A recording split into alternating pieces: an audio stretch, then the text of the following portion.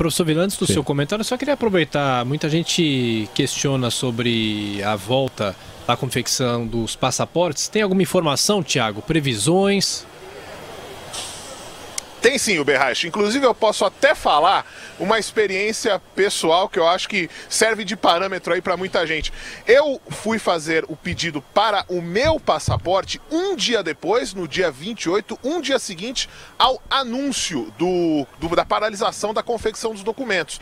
E eu já recebi um e-mail dizendo que o meu passaporte está pronto. Então, é um indicativo aí para as outras pessoas também de que ele está de fato retornando, as confecções estão retornando e as pessoas gradualmente vão poder começar a buscar os documentos. Até porque a Casa da Moeda do Brasil, ela ainda que tivesse essa restrição orçamentária, ela não parou a produção de passaportes completamente. Haveria um número de 240 mil documentos em estoque, só esperando a colocação dos dados pessoais das pessoas que requisitaram o passaporte e também aí os instrumentos de segurança que impedem falsificações. Esse montante aí de passaportes de cadernetas é, são localizadas num departamento da Casa da Moeda no Rio de Janeiro, já estariam prontos então para a confecção, só aguardando a colocação do, do enfim, dos dados e dos instrumentos de segurança. Então, as pessoas já estão de fato recebendo os chamados para irem buscando os passaportes à medida em que eles estão